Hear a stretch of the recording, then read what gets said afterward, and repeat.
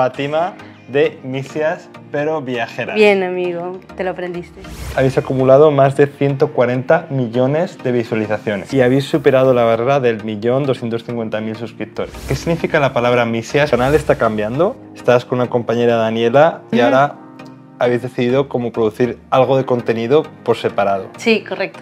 Gente que piensa que hay cosas, hay chisme. ¿Qué está Cuéntanos pasando? Sí, quiero saber si recomiendas a la gente viajar a Perú y cuáles son los puntos fuertes de Perú como destino turístico para Ujú. gente de otros países. ¿Cómo es la personalidad de los peruanos? Si no pudieras vivir en Perú, ¿en dónde vivirías? Ah, es muy difícil.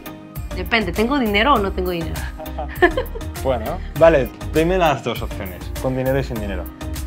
La invitada del día de hoy se llama Fátima y pertenece al canal Misias pero Viajeras. En el pasado diciembre, Fátima estuvo viajando por Vietnam grabando contenido para su canal y yo le estuve echando una mano, pues tanto como asesorándole en algunos temas, como acompañándole en algunos días de grabación y ayudándole a grabar su contenido. Fátima nos va a compartir su experiencia como youtuber de viajes, nos va a hablar de muchos de los países que ha visitado alrededor del mundo. La entrevista no va a ser completamente sobre Vietnam, en ese sentido es diferente de otras entrevistas, pero aún así creo que vale muchísimo la pena. Por lo tanto, mírate la entrevista hasta el final y cuéntame en los comentarios qué te va pareciendo a medida que la ves. Un abrazo y demos la bienvenida a Fátima de Misias pero Viajeras.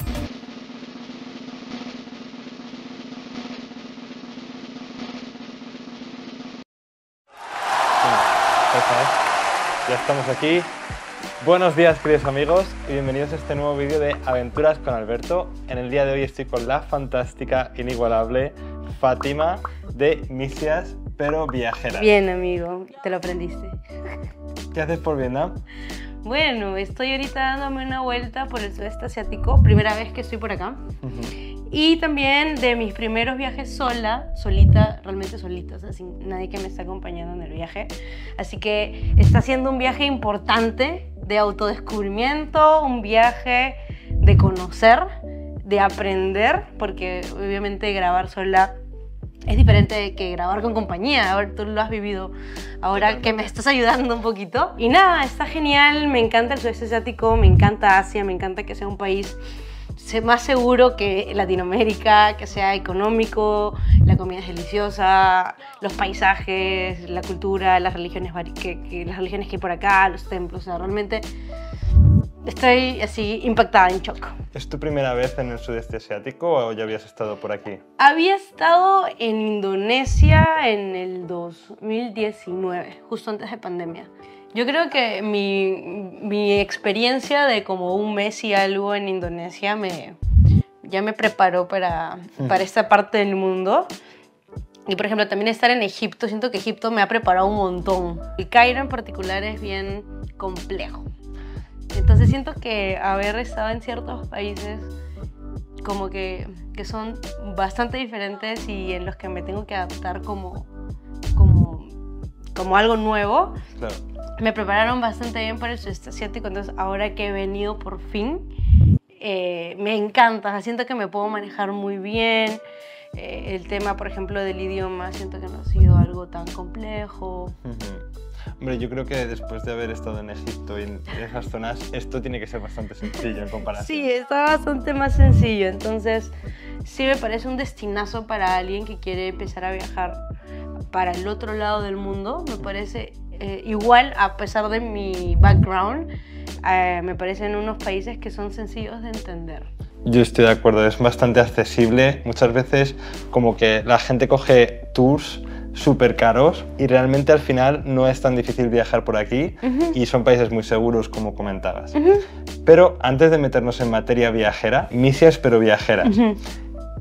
¿Qué es ese canal? Cuéntame por qué. ¿Qué significa Misias para Viajeras? Y, ¿Quién Y eres? cuéntame un poco de qué va tu canal, Ajá. para quien pueda no ser consciente. Sí, para los que no nos, para los que no nos conocen, ¿no? Claro. Bueno, el proyecto que, que tengo yo se llama Mises Pero Viajeras y lo creé junto con Dani. Ella ahorita no está conmigo, pero por ejemplo grabamos en algunos momentos del año juntas. Tailandia lo grabé con ella y estuvo súper, súper chévere. Vayan a ver esa temporada, realmente está muy buena. Pondré los links en la descripción y aquí saldrá una nota por aquí. No dejéis de ver la entrevista, ver los vídeos después de terminar la entrevista. Sí, no te vayas, no te No os vayas, no, te vayas. Pero bueno, es un proyecto que creamos dos, dos personas, no solo yo, y lo creamos hace siete años con el objetivo de compartir nuestras vivencias, compartir cómo es que nosotras empezábamos a viajar de forma económica, primero a través de nuestro país, yo soy de Perú, y luego poco a poco ir saliendo. Luego empezamos a conocer Sudamérica, Latinoamérica, Europa, Asia y ya, pues ahora es una locura porque es lo que inicialmente creamos pero multiplicado a nivel internacional.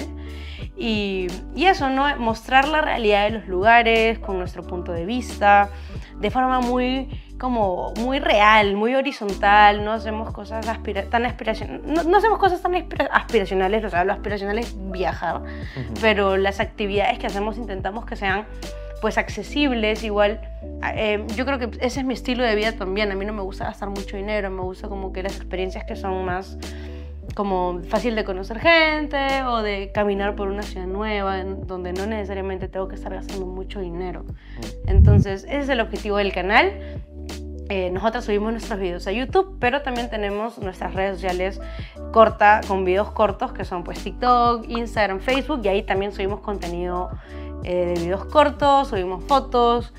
Es un proyecto que ha crecido bastante, o sea, desde el video 1 hasta el video que tenemos ahora ha evolucionado mucho en formatos, en cómo nos expresamos, en la información, en la calidad de imagen y estamos muy orgullosas de, de, de Millas Previajeras, es súper chévere. ¿Qué significa la palabra misias? Porque en España esa palabra no es para nada conocida. O sea, yo la primera vez que la escuché fue cuando fui a tu canal. Ajá. Entonces, ¿qué significa? Sé lo que significa porque lo he investigado, pero cuéntanos qué significa. Bueno, misias pero viajeras vendría a ser en inglés como broke but travelers y en español vendría a ser como que alguien que no tiene mucho dinero, que se quedó sin dinero, pero que quiere viajar. No sé, la expresión puede ser como alguien te dice, oye, ya, pues vámonos de, vámonos de viaje o vámonos a comer algo. Y tú dices, pucha, no, me he quedado misio, o sea, me he quedado sin plata. De repente, no sé, tuve que pagar mi tarjeta de crédito, o estoy pagando algo, o me lo gasté, no sé, en una fiesta y me quedé sin plata. Entonces es como, me quedé sin plata, estoy sin plata, no tengo mucho dinero, pero quiero viajar. Pero aún así viajo. Estoy sin un duro, pero viajo. A mí es algo que me ha gustado mucho de la experiencia de, de echarte una mano en Vietnam, porque ha habido como algunos planes que eran bastante caros. Ajá. Te lo he comentado en plan, a lo mejor alguna manera de conseguirlo más barato, tal, y tú, pero ¿cuánto cuesta? Y a lo mejor te digo el precio y dices, no, eso es demasiado caro, vamos a hacerlo más barato. Entonces, eso, me ha eso me ha gustado un montón. Esta mujer es una crack de YouTube, pero aún así no pierde esa humildad o esa, esa perspectiva de saber lo que quiere, ¿no? de saber que es algo eh, más o menos accesible para todos los bolsillos. Es que es como que lo que me da comodidad a mí, a mí honestamente, por ejemplo, en estos casi dos meses o un poco más que he estado por esa parte del mundo, donde comer rico es súper sencillo y lo puedes comer, o sea, puedes comer desde un dólar siempre. Y también hay muchos restaurantes de lujo, muchos restaurantes turísticos y muy caros y muy bonitos y con vistas y super nice. Pero hasta ahora no he pisado ni un restaurante así porque la verdad es que no veo la necesidad en mis gustos personales de gastar tres veces más, cuatro veces más por tener esas comodidades que es, es válido, a las personas les gustan. Pero, por ejemplo, a mí me hace feliz comer en un lugar local, en la calle, sin tantas comodidades, en el piso. Entonces, siento que tiene que ver mucho con el estilo de vida y qué cosas son las que me gustan a mí. Por supuesto, yo estoy, yo estoy más o menos en sintonía con esa idea también. Vale, ahora te voy a leer unas cuantas estadísticas porque te he hecho un poco de investigación. Al amigo, A ver, bien. tu canal empezó, fue fundado el 13 de julio del 2016. Sí, pero no habíamos subido videos hasta, hasta entonces, solo lo creamos como para guardar el nombre. De acuerdo. Bueno, pero eso Ajá. fue creado en esa fecha. Desde entonces habéis acumulado más de 140 millones de visualizaciones. 140 millones, Alan.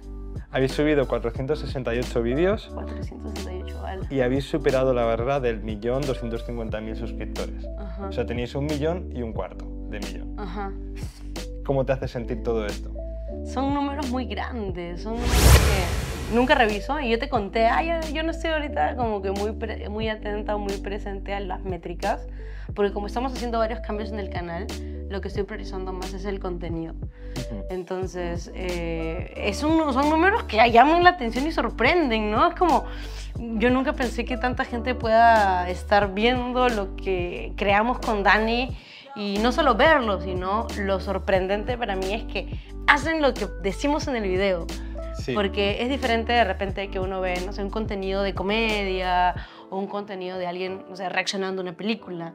La diferencia con lo que mostramos, tanto tú y yo, es cómo hacer algo y la gente se moviliza para hacerlo y gasta dinero para ir acá, comer acá, visitar este templo. Entonces, no es solamente mostrar, sino también es la convicción que tienen en ti. Entonces, es como, wow, mucha gente realmente confía. A mí lo que me alucina, lo que me flipa es la cantidad de gente a la que habéis influido de alguna manera. Puede que haya muchísimos viajeros que hayan seguido vuestros consejos, que hayan sacado ideas. Yo de hecho estuve viendo el otro día vídeos tuyos eh, de Instagram y estoy viendo como me estuve descargando aplicaciones que recomendabas para editar en el móvil. O sea, como que la cantidad de gente que se habrá llevado algo de valor desde vuestro canal, desde entretenimiento hasta ideas de viaje, hasta un momento a lo mejor están de bajón, se han puesto su, vuestro vídeo y se han puesto de buen humor. Sí, creo que eso es algo que no me doy cuenta hasta que me encuentro con, con la gente que nos sigue en la calle y te saluda y es, o sea, a mí me encanta encontrarme con gente y te cuentan algo rápido, de repente personal, como que, wow, vi esto y me ayudó acá o me sentí mal y tus videos me ayudaron como a a, estar como un ratito fuera de mis, de mis temas o, o cosas por el estilo y es como, wow, hay que seguir trabajando duro para seguir haciendo videos y seguir de alguna manera como aportando, ¿no? Totalmente. Pero sí, no, no, no me doy cuenta, no es algo que, que, tenga presente. Me doy cuenta en algunos momentos cuando converso con alguien, cuando alguien me lo dice como tú me lo dices ahora, o así en tu día a día tú estás pensando en hacer tu tarea, ¿no? en tu, tu cometido, ¿no? y esto es como que te viene después. Bueno, cuando leo comentarios, o estoy revisando los comentarios, también ahí como pueden aparecer algunos mensajes y es como que, oh, qué chévere. Bien, hoy día tengo que ir a grabar. Bueno, hemos hablado de cómo tu contenido o tu contenido con Dani influye a la gente, qué valor trae a la gente, pero también me gustaría saber cómo te ha cambiado a ti, ese, o sea, el estar eh, tantos años dentro de, YouTube haciendo contenido, en otras redes sociales también, ¿cómo te ha cambiado a ti como persona? Wow, qué fuerte. Sí, amigo, soy, o sea, definitivamente han, se han pasado siete años. Me veo eh, hacia atrás y afuera de que era una niña, era una persona que todavía no conocía muchas cosas, que estaba aprendiendo. Eh, mi seguridad, por ejemplo, es distinta o mi miedo de hablar ante la cámara, mi fluidez al momento de compartir informaciones abismalmente. Eres una máquina, eres una fiera. Es, una, es bien, pero es que es la práctica. Y al inicio los videos pues no eran los mejores al momento de expresarme. Y daba vergüenza pues no subir un contenido que tú decías, ah, ya fue, pues ya está, eso es, ¿no? Pero si no subía el contenido como estaba en ese momento, no iba a poder aprender de mí misma poco a poco. Entonces, siento que el tema de, madurez, el tema de seguridad, el tema de, no sé, de expresarme, también de, aprender acerca audiovisual, porque yo no soy una persona que ha estudiado eh, comunicación audiovisuales, yo he estudiado administración de empresa, entonces es como haber estudiado una segunda carrera en estos años. Esto de YouTube, o sea, aprendes un montón de cosas. No, aparte que Dani es la que me ha enseñado porque ella sí estudió audiovisual. Ella fue como mi profesora y pues aprendí muchísimo. No voy a decir que aprendí de repente todo, pues porque hay mucha teoría que en la universidad te enseñan que pues yo no estoy con mis libros, pero en la práctica sí son muchas cosas que no me di cuenta, pero que ya sé.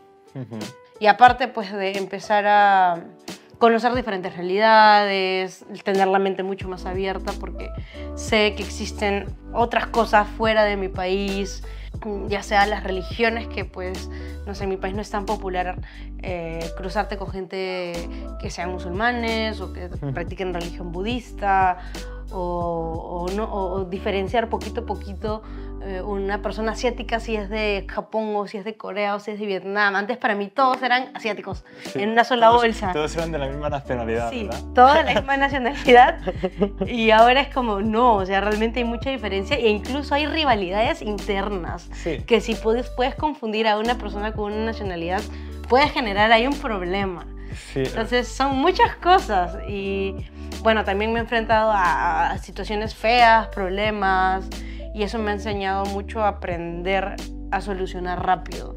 Siento que soy muy buena para eso. O sea, siento que ya tenía como la, la iniciativa cuando era más joven, pero ahora siento que soy muy rápida porque cuando uno está viajando tiene que decidir porque pierdes dinero, pierdes días eh, y si estás trabajando pues te da mucho más estrés.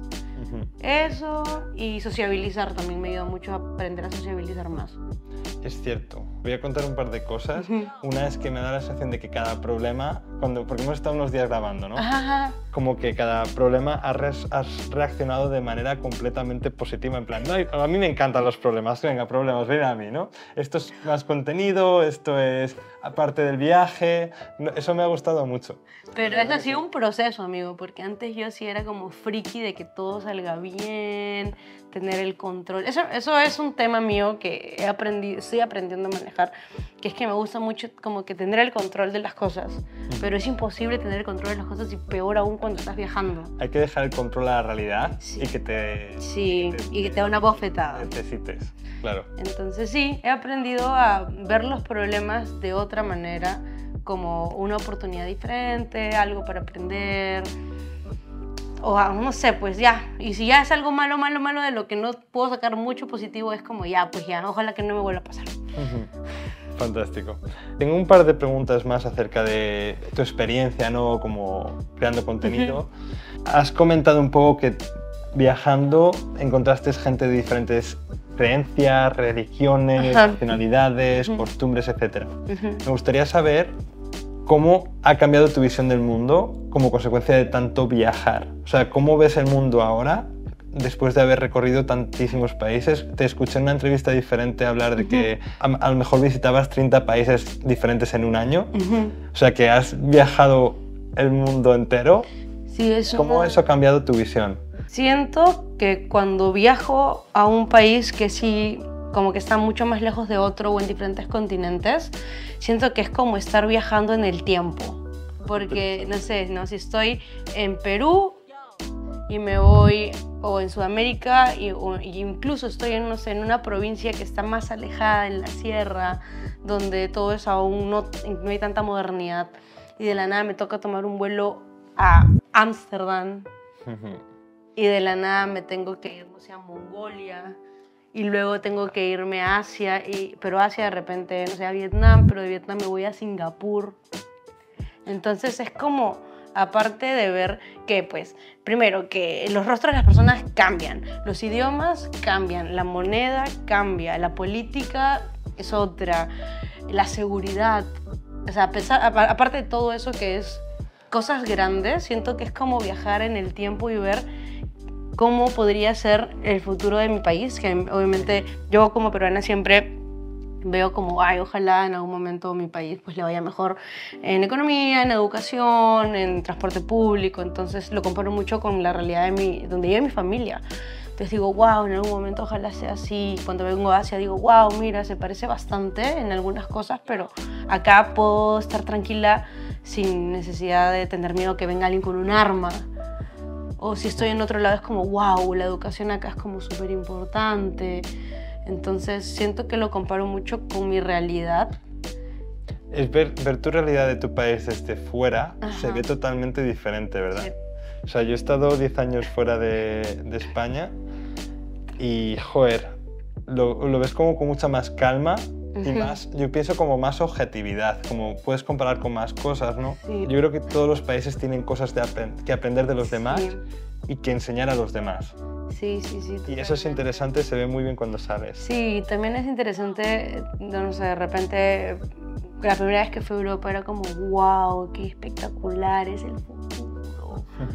Wow, el transporte público funciona, está en Google Maps. O sea, cosas así, ¿no? Sí. Como que, wow, puedo caminar con mi laptop en la espalda y no me van a venir acá a atacar con unas armas, ¿no? Wow.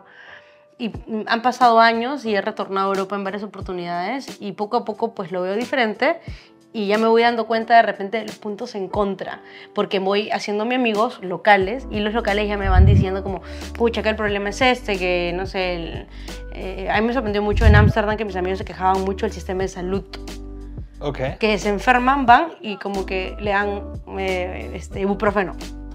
Ok. Y, y no los hacen como que no les hacen análisis, no les hacen caso, como que hay un problema ahí en, en el tema salud y se quejan mucho del tema salud. Y bueno, y que los taxes son pues, los impuestos son una locura. Entonces cada país tiene su propio problema y lo vas conociendo eh, más si es que conoces a gente del lugar. Es interesante. No tienes la imagen superficial, sino que pasas a entender un poco los pros y los contras profundos que tienen esos países. Yo estoy muy de acuerdo contigo. Más.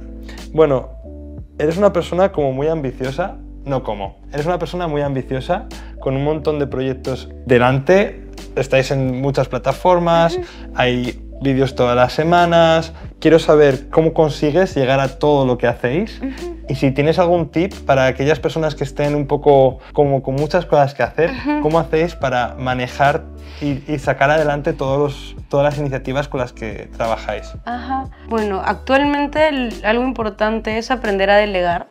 Bueno, actualmente tengo un equipo de trabajo que me ayuda, ¿no? Eso es algo que sin ese soporte no podríamos hacer todo en la cantidad de material que hacemos y al mismo tiempo estar tranquilas. ¿no? En, su- en los inicios sí éramos Daniela y yo solas y poquito a poquito ya fuimos ga- ganando dinero, empezamos a incluir a ciertos eh, puestos claves que nos ayudaron mucho. Entonces, sí o sí, intentar buscar ayuda apenas tengan algo de presupuesto, amigos, reinviertan en su empresa. O sea, yo siempre reinvertí, ese fue mi modelo de negocio. Yo no, y de repente no me, no, no me gastaba el dinero en mí nunca. O sea, yo no me compraba ropa, ni maquillaje, ni salía de fiesta. O sea, apenas ingresaba algo de dinero, lo reinvertía ya sea en comprar un mejor micrófono, mejorar mi lente de la cámara, algo de equipo audiovisual. Si no era eso, era un banco de audio, un banco de imágenes para mejorar los videos, algún curso para estudiar o contratar a alguien que nos ayude. Y principalmente, en la primera persona que invertimos fue en un editor de video. Porque la edición de video toma mucho tiempo, es un trabajo bastante operativo y sentimos que más valioso era nuestro tiempo creando contenido nuevo que estando en la compu todo el rato. Entonces fue lo primero que contratamos y sí, funcionó muy bien. Al inicio fue difícil porque uno está muy encerrado pensando en, no, no voy a encontrar a alguien que piense como yo, va a ser muy difícil, no me va a entender, no va a entender que quise como que expresar en este video y como que te llenas de negativas pensando en que no, que no, que no, que no, que no. Entonces ahí estábamos Daniel y yo, Daniela diciendo, no, no, no, no vamos a encontrar a nadie. Y yo, sí, sí, sí, ya, veamos, ya veremos, ya, tendrá que mejorar, al inicio no será bueno, pero hay que hacerlo. No, no, no, la convencí con diciéndole esto y al final me dijo, sí, es la mejor decisión. Y ya poquito a poquito luego integrando otras personas como nuestro segundo puesto clave fue una asistente administrativa que nos pueda apoyar en todos los temas de negociación, contratos con sponsors, porque finalmente esa fue la primera forma de ingreso que tuvimos, entonces teníamos que cuidarla muy bien. Si ya teníamos por ahí uno que otro patrocinador, teníamos que tenerlos muy bien atendidos, entonces la forma de, de lograrlo, teniendo en cuenta que teníamos que continuar grabando, era teniendo una asistente administrativa. Entonces le hablé a una amiga de mi universidad que estaba justo sin chamba y que este, nosotros trabajamos de forma remota con nuestra gente desde hace siete años. Antes de que el COVID venga y se ponga de moda el trabajo remoto, nuestro equipo trabaja remotamente desde siempre. Fantástico. Entonces a ellos les encantaba porque estaban en su casa con pijama, tranquilo, a veces nos juntábamos, pero eso funcionó. Entonces tener un equipo, reinvertir dentro de la empresa, eh, confiar en tu equipo y eso es difícil, pero para poder confiar en tu equipo es importante dedicarles tiempo. Es trabajar con ellos. trabajar con ellos, ser buen, trabajar. hacer como buen parenting, ¿no? Como una buena guía. Y para poder como soltar y poquito a poquito ir delegando lo operativo, lo operativo, lo operativo y tú enfocarte más en lo estratégico. Siento que eso es algo que estamos aprendiendo igual, no somos perfectas. Pero es el camino por el que creo voy y me está funcionando poco a poco. Tu canal está cambiando. Estás con una compañera Daniela, siempre grabando conjuntamente y ahora habéis decidido como producir algo de contenido por separado. Sí, correcto. Y he oído que hay gente que piensa que hay cosas, hay chisme. La chisma, Eso- amigo. eso- El chimichimi. Bueno, ¿Nos puedes contar qué, ha- qué- eh, por qué habéis tomado esa Ajá. decisión? Y bueno, ¿Qué está cuéntanos un poco. pasando? Sí. Sí, es una pregunta que nos hacen mucho, sobre todo la gente que nos sigue hace tiempo. Primero que no hay ningún tema de que el canal está por cerrar o que el proyecto va a terminar. O sea, primero que darle tranquilidad a la gente que nos ve de que calma, Ujú. todo está bien por ese lado. Y lo otro es que hace un año, ya un poquito más de un año, con Dani decidimos empezar a viajar eh, por separado para poder empezar a tener aventuras individuales. Y yo al inicio era como que ya, como que le da- no le daba tanta importancia, le decía como que sí, me parece una buena idea, pero ya, como después, después. Y él me decía, no, Fati, en serio, yo creo que puede ser chévere, no sé qué, por esta razón, por esta razón, por un tema de crecimiento personal, porque necesitamos aprender a hacer esto solas también, porque nos va a ayudar a desarrollar nuestras habilidades. Y poco a poco me di cuenta que era algo súper necesario. Junto con mi psicóloga, también conversando con esto, era como, pucha, la verdad es que sí, o sea, hemos viajado casi siete años, un poco menos, siete, seis años y unos meses juntas, 24/7, o sea, literal conviviendo y trabajando y todos los días de nuestra vida, porque hemos trabajado todos los días sin descanso, que eso igual es como llegas a tener una codependencia de alguien y eso no te permite terminar de crecer, eso te limita porque te sientes muy cómoda. Entonces, no sé si Daniela era muy buena, me invento. Viendo el tema de eh, las aplicaciones de traslados, ya sabía qué bus, qué bus, qué, qué metro, dónde tomarlo, a dónde, ubicación, mapa, localización. Y yo estaba más enfocada en ver otros temas, ya sea del alojamiento, de tener todo listo, las cámaras, la comida, los equipos, las ropas, o sea, literal todo, porque nos dividíamos las tareas. Eso hacía que yo deje de aprender de un tema y ella deje de aprender de otro. Y nos mantuviésemos de esa manera. Y eso no nos permitía a nosotras ser unas adultas completas. Era como tener siempre ayuda, ¿no? Que estaba cool, porque tener ayuda está súper chévere. Tenéis simbiosis, ¿no? Claro. Entonces era como que, ah, yo quiero aprender esto porque la verdad es que no lo sé hacer o me da miedo viajar sola y quiero, quiero aprender a hacerlo porque la verdad es que mucha gente lo hace, muchas amigas lo hacen y me dicen que es súper chévere, que está súper bien, siempre y cuando tengas todas tus medidas de precaución. Pero yo tenía, por ejemplo, miedo, ¿no? Diciendo, ¿qué voy a hacer sola? ¿Qué pasa si no sé hacer esto? Porque esto siempre lo hacía Daniela o viceversa. Entonces sí tenía como un poco de temor, pero lo empezamos a hacer con miedo, porque así empiezo a hacer las cosas, con miedo. Entonces es una cuestión de desarrollo personal Ajá. eh, en gran medida y también has- me imagino que habrás notado un cambio de dinámica en la manera en la que viajas, ¿no? Si- no sé si has notado que haya cambiado algo así, Ujú. o si a lo mejor no lo has pensado tampoco, no sé. O sea, siento que es genial a veces estar en silencio, sin conversar todo el tiempo. A mí me encanta conversar, me encanta estar como que hablando de cualquier cosa, cosas interesantes o cosas tontas.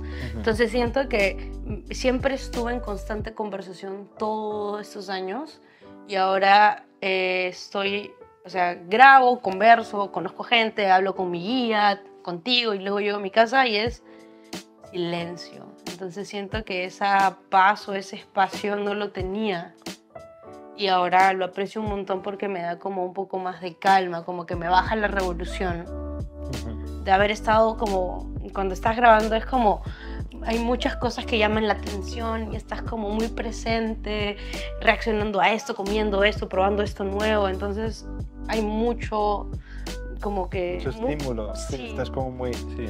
eh, eh, Sí, hay mucho estímulo, entonces siento que poder estar tranqui en mi habitación luego cargando mis equipos, bajando material, escuchando música o escuchando un podcast, igual y bulla, ¿no? Pero ya no estoy yo, yo discutiendo con alguien, ¿no? Conversando. Me da como un poco de calma, de ahí también eh, hacer mi rutina solita es más rápido Sí. que hacer la rutina con alguien porque como nos dividíamos cosas a veces en vez de me invento hacer mi desayuno tenía que hacer dos desayunos o lavar mi ropa tenía que lavar ropa de dos personas Entonces ahora es más, más sencillo en ese sentido. Un poco más Menos- sencillo. menos trabajo. sí Y también he pensado otra cosa, que es que cuando estás, tra- estás trabajando y viviendo con alguien, Ajá. siempre tienes que llegar a consensos, ¿no? Sí. Y eso a veces a mí me toca las narices, personalmente. O sea, en el sentido de que a veces está guay decir, me apetece hacer eso y lo hago, y no me apetece hacer eso y no lo hago. Pero si estás con otra persona que tiene otros gustos, como que te tienes que sacrificar un medio, sacrificar un poco, ¿no? Para que Sí. ambas personas estéis satisfechas. Sí, la verdad que sí, yo no me había, o sea, yo soy muy sencilla de llegar a un punto medio. Yo soy como bien light. O sea, conversamos, es como yo quiero comer esto, yo quiero comer lo otro, es como, bueno, comamos lo que tú quieras. O sea, a mí honestamente no me hago rollos con que quiero defender mi punto de vista tanto como, dependiendo, ¿no? Eres muy flexible. Sí, es yo como muy notado. flexible. Entonces, eh, y Daniela igual. Entonces siempre ha sido muy sencillo llegar a puntos medios, súper sencillo. Siempre era como que, ok, y siempre era todo muy cómodo. Pero igual siempre había esto de tener que decidir de a dos. Y para mí fue algo muy como normal, ya lo normalicé. Y ahora que estoy sola, eh, sí me doy cuenta que ya no tengo que tomar esa decisión. Literal es, estoy cansada, ya no quiero hacer nada más, me voy a mi casa. Genial. Antes era como, no, pero hay que hacer esto otro, pero oye, no. O yo no quiero salir, tú sí. O de repente, no sé, diferentes puntos de vista, ¿no? Yo quiero comer esto, yo no, no sé qué. Ahora literal hago lo que yo quiera y lo que más me conviene para estar tranquila, para aprovechar mi tiempo de otra manera. Entonces sí siento eso y es bien, bien interesante porque yo no lo había tenido. O sea, lo que estoy aprendiendo también es que esto a lo mejor es tu experiencia personal y es el tema del canal que Ajá. estamos hablando, pero al mismo tiempo la gente que no estáis viendo, a lo mejor muchas personas jamás lo han hecho, ¿sabes? Jamás han ido por ahí ellos solos y a lo mejor esta conversación les sirve como inspiración, ¿no? Para a lo mejor probar a irse un Ajá. día de viaje ellos solos a alguna parte, porque engancha también, o sea, Sí. también es algo eh, bien interesante. Pero vosotras no habéis dejado de hacer contenido conjunto de todas maneras, seguís haciendo de vez en cuando vídeos las dos juntas, ¿no? Porque Sí. es parte de... Es parte de. Es canal. como igual un formato con el que empezamos, que es. eh, la dinámica que tenemos también es súper chévere porque es- nos divertimos un montón, ah, tenemos un sentido del humor muy similar, tenemos un punto de vista, los puntos de vista y opinión también son iguales, entonces cuando viajamos es muy sencillo y divertido.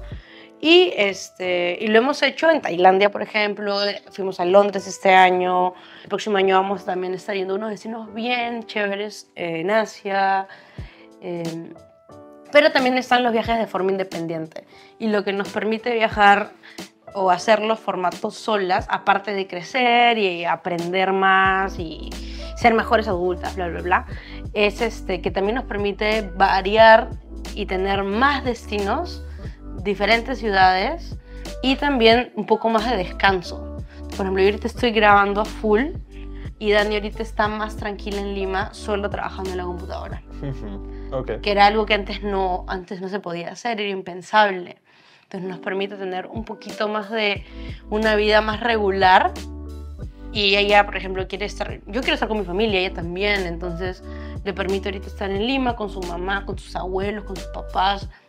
Y, y es algo que eh, valoramos mucho ambas y estando fuera, pues es imposible. Y el tema de la familia para nosotros es algo que pesa mucho en, Claro. en nuestra vida.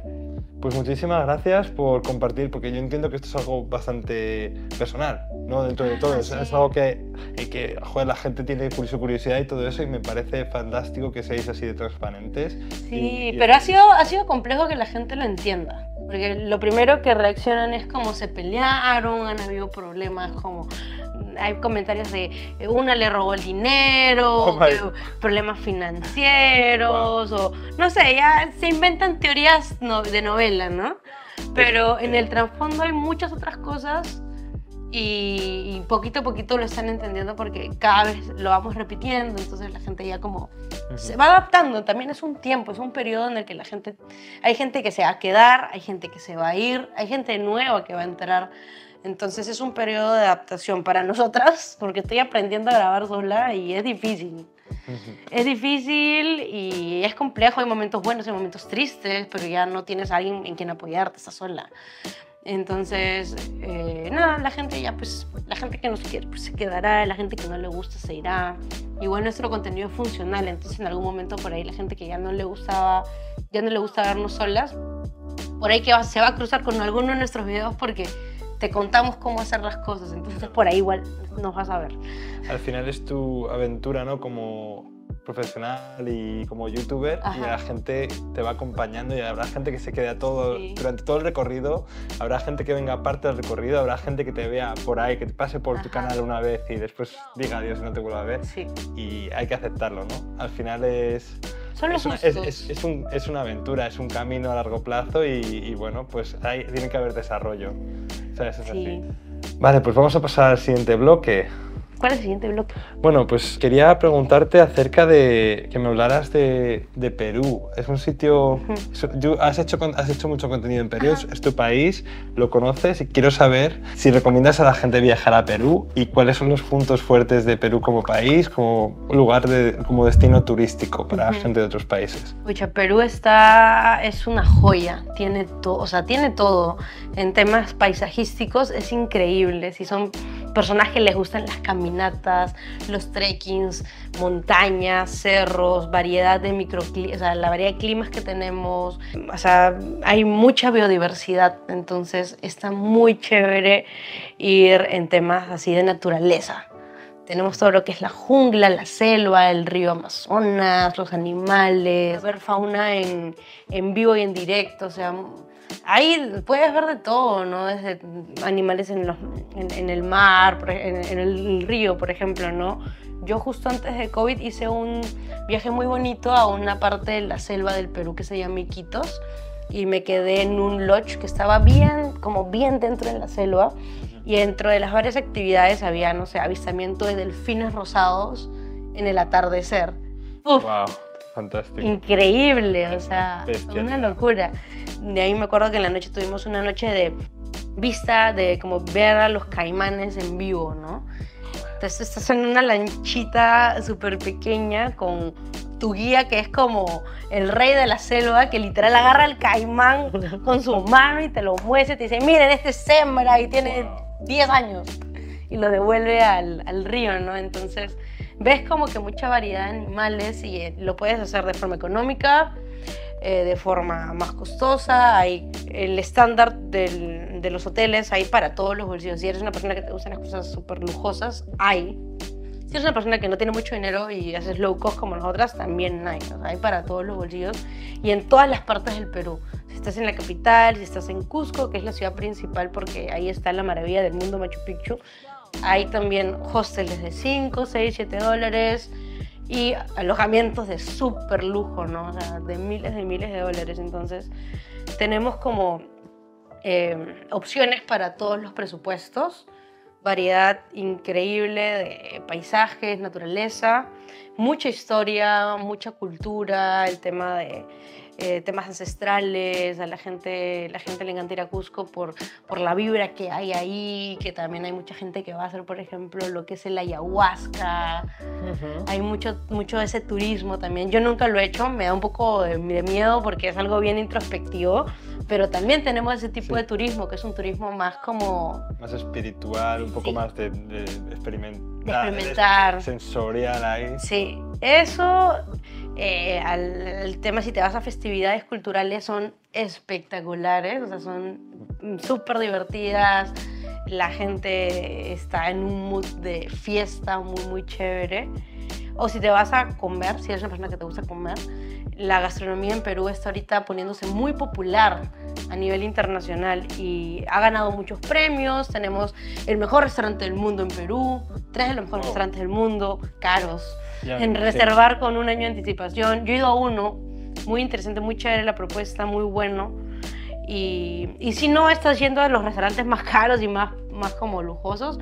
Puedes comer igual de rico en lugares más económicos, pero tienes que que ya no están tanto en la zona turística y si tienes que ir de, de, repente con locales o con guías para sentirte un poquito más seguro. Eso es lo único, el punto que hay que tomar en cuenta. El tema de la seguridad en Latinoamérica está poniéndose un poquito compleja, pero si vas leído, investigado, sabes dónde meterte, dónde no, qué, qué cuidados tener, por dónde no ir a cierta hora. Eh, de preferencia, como les digo, no hacer amigos locales, eh, la vas a pasar bien. Simplemente hay que tener cuidado en la capital es un poquito, hay un poquito más de inseguridad que en las partes de afuera, pero si ya estás en la ciudad más turística que es Cusco, pues es bastante tranquilo y la gente se enamora de Cusco, mucha gente se va a vivir allá. ¿Cómo es la personalidad de los peruanos? En general, ¿cómo se compara con gente de otros países? Es que varía mucho dependiendo de la ciudad. Ok. ¿En qué a ver, cuéntame. O sea, siento que... diferencias Ajá, como hay mucha desigualdad, en temas económicos por un tema de educación, sobre todo por un tema de educación. Eh, si, estás, si quieres como progresar, que, estudiar en una buena universidad, o eres una persona que tiene, su familia es de buenos ingresos económicos, tiene dinero, por lo general estás en la capital, estás en Lima. Entonces siento que Lima a veces es una burbuja. La gente se queda ahí y piensa que pues que la realidad es esa, ¿no? donde de repente hay mucho, un poco más, hay más, más, este, opciones, oportunidades, las oficinas principales de las empresas están ahí, la educación, no sé, en general, todo, como más moderno, ¿no? Entonces también al estar eh, un poco encerrados en esa realidad, algunos limeños pueden ser un poco racistas de repente con personas que viven en otras partes del Perú, pero siendo todos peruanos. Claro como creerse superiores, ¿no? Porque viven una, una vida un poco más avanzada. Claro. Entonces, va a depender con quién te cruces. Hay limeños súper chéveres, súper buena onda, súper bacanes. Hay personas que son, pues, de repente un poco más, como, más, que ven una burbuja, más distantes. Entonces, va a depender mucho de la ciudad. Pero yo creo que si ya sales de la capital, donde es todo un poco más como eh, como cualquier capital donde todo es más, mucho más moderno, mucho más avanzado, si sales afuera, las ciudades de, de, provincia, ya la situación cambia. La gente es mucho más, más amena, más sociable. Este, igual a veces el tema del idioma puede ser eh, una limitante porque se llaman varios eh, dialectos. Bueno, no dialectos, lenguas. Varias lenguas, sí, varias lenguas originarias, dependiendo la provincia. Entonces, si quieres como que comunicarte con gente bien local del campo, va a ser un poquito más difícil. Pero si estás en la zona como un poco más urbe, la gente es súper chévere. Igual varía un poco la personalidad de acuerdo al, a la ciudad. Siento que la gente que está en la selva, en la parte de jungla, es más como más alegre, más sociable, que les gusta más la, como que son así más como energéticos, decías. Cálidos. Más cálidos, ¿no? También tiene que ver, no sé si con el clima, pero es lo que también he visto en otros países, ¿no? Si me voy a Colombia o a partes tropicales, la gente es como más así. Y si te vas más al lado de la sierra, donde la altura es mayor, hace más frío y todo, eh, las personas son un poquito más, son buenas personas y todo, buena gente, te quieren ayudar a su manera, pero son un poquito más cerradas, un poquito como no tan abiertas. ¿Has estado en Tailandia? Sí. Pasaste por Camboya Ajá. y después llegaste a Vietnam. Sí. ¿Has notado diferencias entre estos países o te han parecido países similares entre sí? Eh, son países similares, pero sí siento que, por ejemplo, pasar de Tailandia a Camboya, lo, la diferencia que vi fue el tema de eh, lo moderno que era la ciudad. Bangkok, pues es una urbe gigante, está muy desarrollada. Y Camboya, bueno, llegué a Siem Reap, que era una ciudad mucho más pequeña, entonces ahí sí me pegó la diferencia. Igual también cuando estuve en la capital, en Phnom Penh, igual también la sentí, por más que igual Phnom Penh igual es una ciudad bastante desarrollada de repente es porque no visité ciertos lugares y no tengo la perspectiva completa, pero sentí un poco eso. Luego que el turismo está más desarrollado en Tailandia, definitivamente, hay más turistas. Por Camboya y por Vietnam he visto menos turistas. De ahí también, por ejemplo, todo el tema de la prostitución en Tailandia es una cosa y por este lado, por, por ejemplo, Vietnam o Camboya no está pues tan expuesto, ¿no? Ahí también lo sentí diferente, ¿no? La gente por un lado puede ir a hacer un turismo de ese tipo, turismo sexual, y por acá no hay tanto eso, ¿no? Así Claro. como... Y es algo que me alegra, la verdad. O sea, personalmente, como viviendo en Vietnam, me alegra que eso no sea algo que atraiga a, A a- a- público. a público, que vaya Sí, gente a... Es otra vibra, ¿no? Yo sentí ahí en esas zonas como una vibra un poquito pesada, ¿no? No, tampoco fue mi favorita. Entonces lo he sentido por ese lado. Las comidas tienen similitudes, Ujú. pero igual cada una tiene como sus platos tradicionales que sí tienen variaciones, que tú dices, ah, no, esto sí es diferente. Pero pues, por ejemplo, el arroz es algo que está pues presente en toda esta zona, ¿no? El té, este, la comida callejera, las frutas son similares porque estamos en lo mismo, Y es la similar... misma geografía. ¿Y las frutas de aquí te parecen similares a las frutas de Perú, por ejemplo? Sí, varias sí. Eh, Como el- los climas son parecidos en las... Es medio tropical también, Ajá. ¿no? Entonces sí, no, no me parece como que tan diferente la variedad de frutas y verduras que hay. O sea, hay cosas muy diferentes que yo nunca había visto en mi vida, pero la frescura de, las, de los productos o los sabores, sí me parece que estamos ahí, estamos ahí parecidos. Ok. Te quería preguntar, eh, ¿crees que los latinos o la gente hispana podría disfrutar de lugares como Tailandia, Vietnam, Camboya, los lugares que has visitado en el sudeste asiático en estas últimas semanas? ¿Crees que es un destino, un destino atractivo para estas personas? Pues la respuesta es que definitivamente sí. Ok. O sea, totalmente. Para mí el sudeste, el sudeste asiático viene a ser de las prioridades. En, en- si estás, si vives en América, en el continente americano, y quieres como que tener un shock cultural fuerte, que no sea tan difícil, que no sea tan complejo, que, en el que te sientas seguro, segura, que no gastes mucho dinero, que la pases bien, que la pases divertido. Y yo creo que el sudeste asiático es excelente. O sea, se le conocía a Tailandia y a toda esta zona como el paraíso de los mochileros y todo ese tema hace muchos años.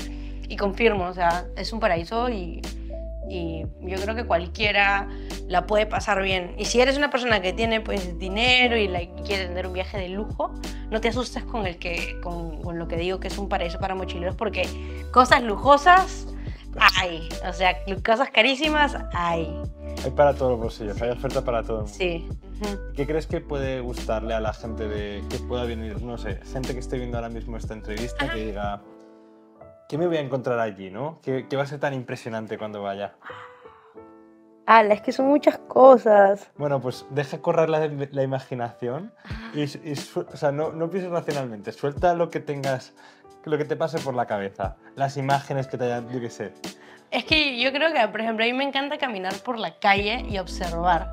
Entonces, siento que hay mucho estímulo en las calles de esta parte del mundo y puedes estar tranquilo, o sea, caminar, nadie te va a hacer problema. Puedes estar con tu cámara en el pecho caminando y viendo todo y no vas a sentirte inseguro. Vas a sentirte de repente que obviamente no, le, no perteneces a ese lugar, Claro.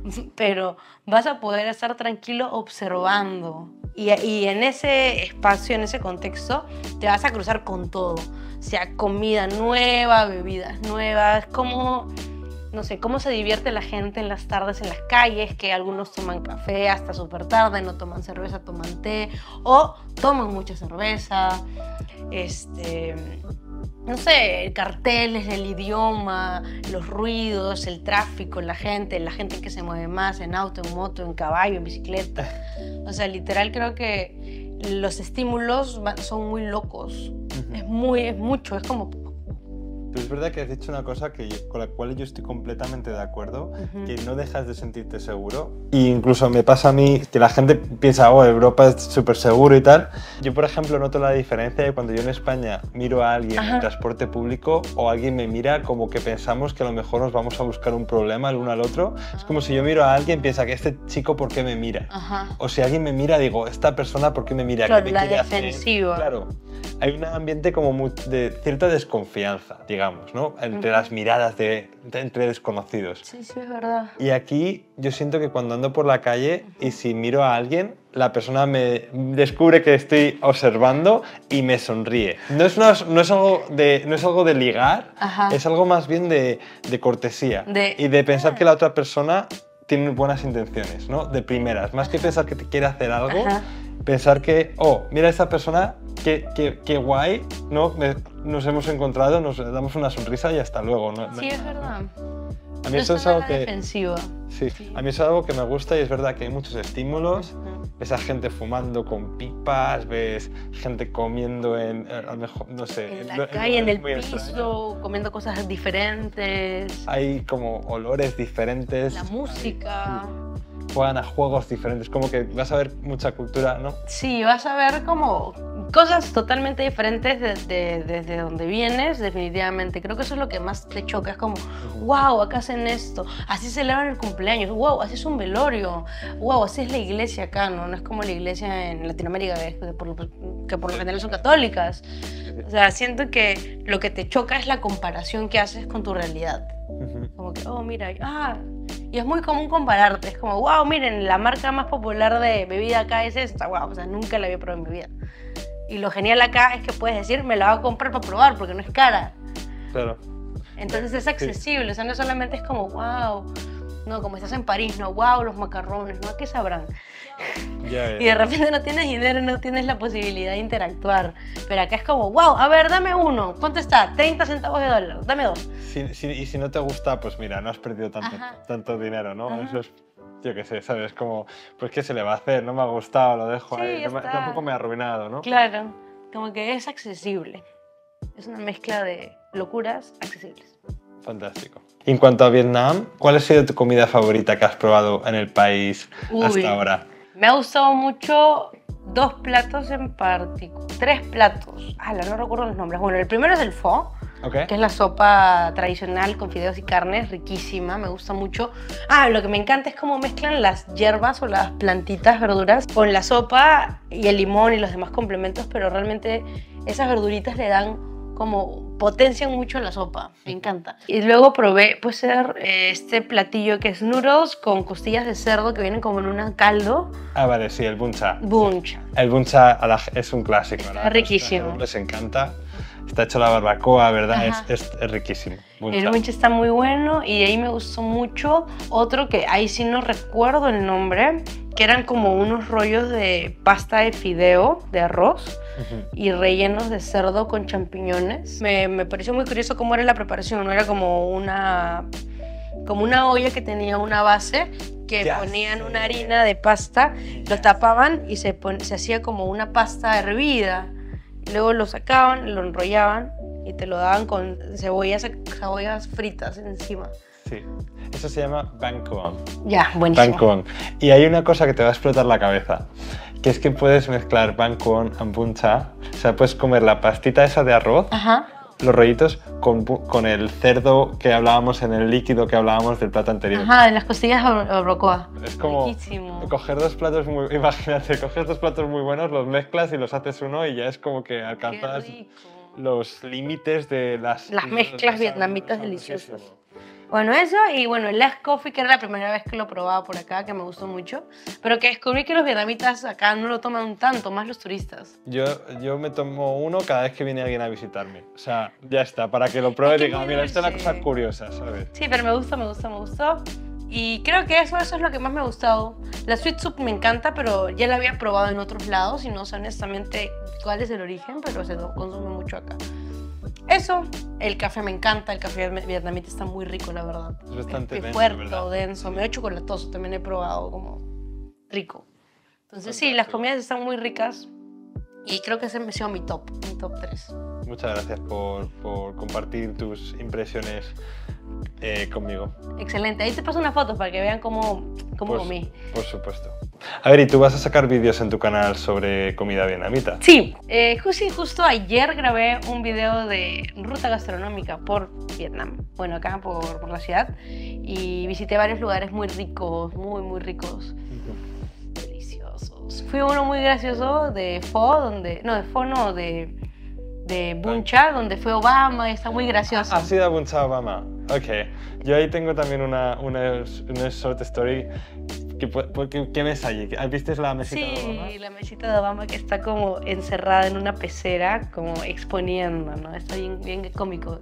Y en el menú tienen una opción, pues que es el combo Obama. Y obviamente me lo pedí, obvio. Y salió bien. ¿no? Y salió bien, muy bueno. Fantástico, o sea, comiste la comida que comería un presidente. Sí, estaba riquísimo. Vino con un spring roll relleno de seafood. Uf, está rico. Un chao, Obama. Fantástico. Pues muchísimas gracias por toda la información. Muchísimas gracias. Eres, eres, una jefa.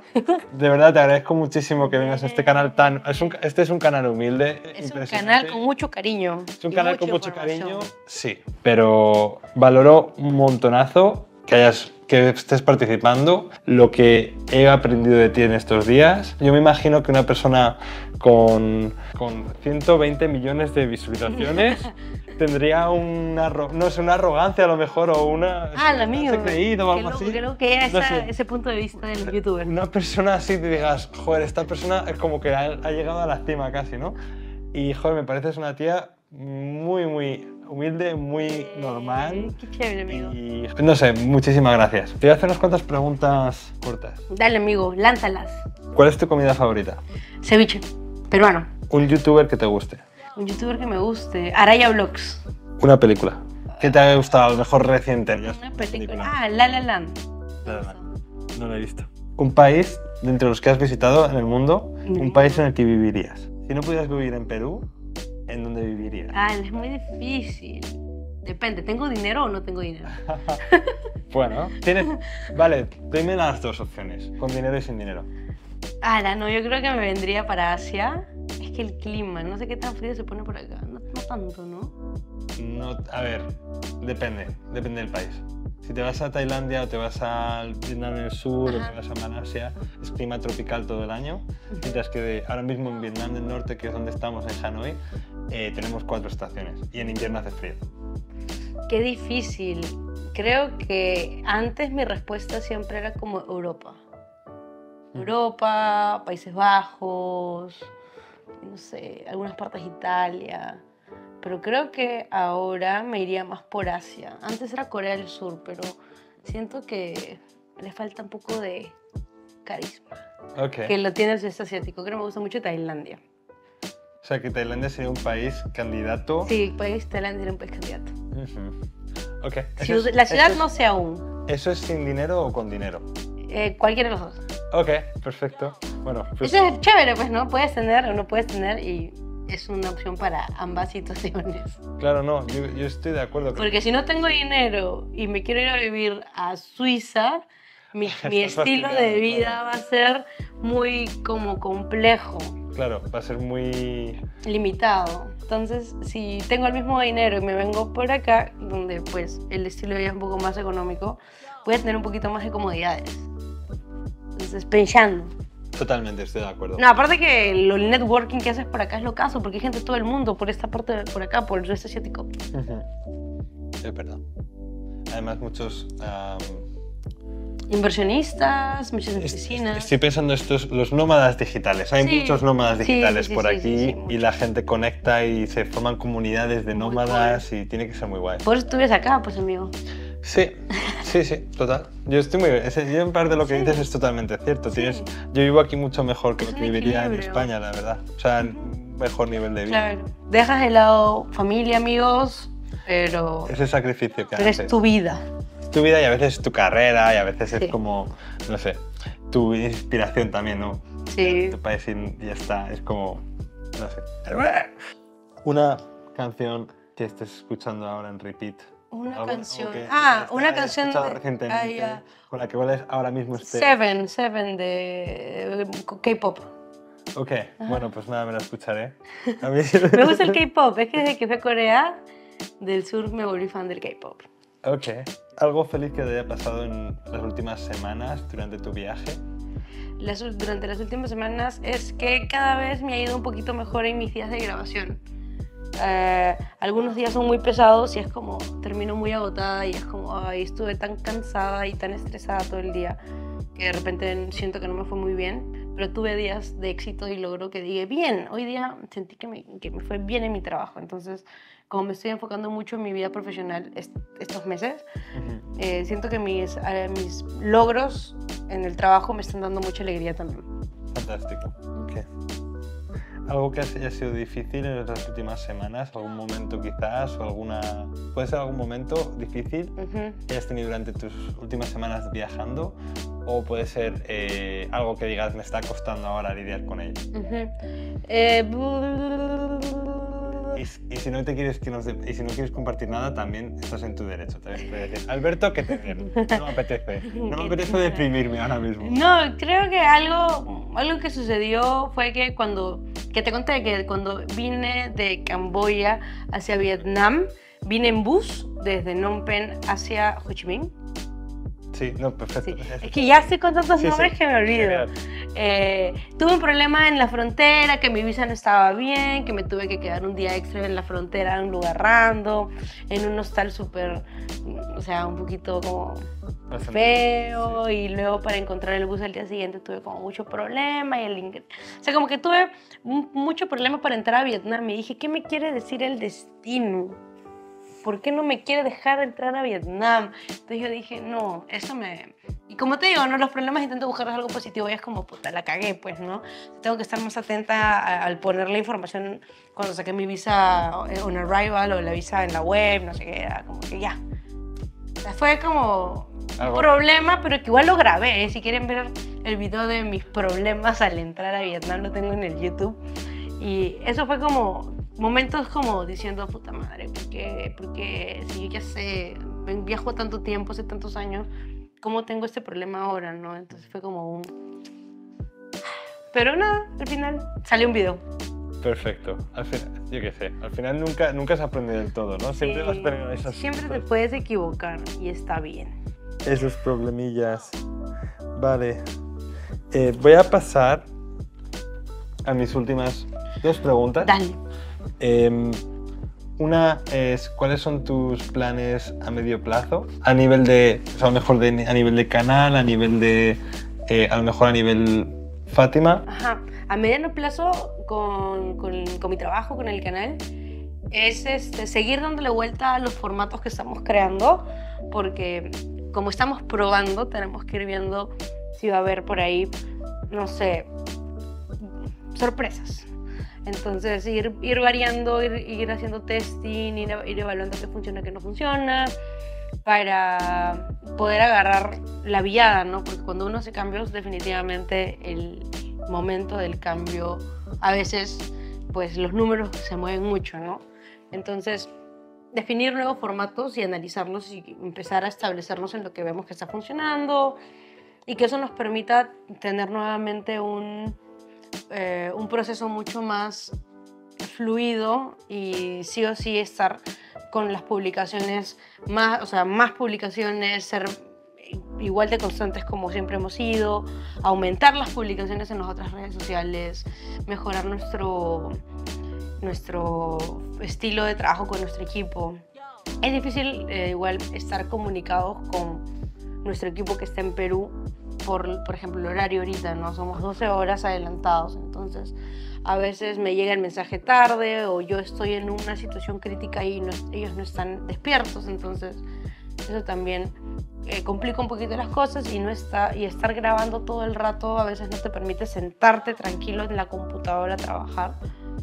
Y, eh, y eso es algo que también quiero mejorar, ¿no? Mejorar mi dinámica de trabajo con mi equipo eh, y bueno, teníamos en mente reabrir nuestra página web, que espero que el próximo año ya se dé, que es, me parece súper importante. Tú tienes tu web y yo reviso mucho webs cuando voy a investigar algo de un destino, entonces me parece la web una fuente de información muy relevante, a pesar de que las redes sociales ahorita son como que súper arriba. Igual es una fuente de información importante.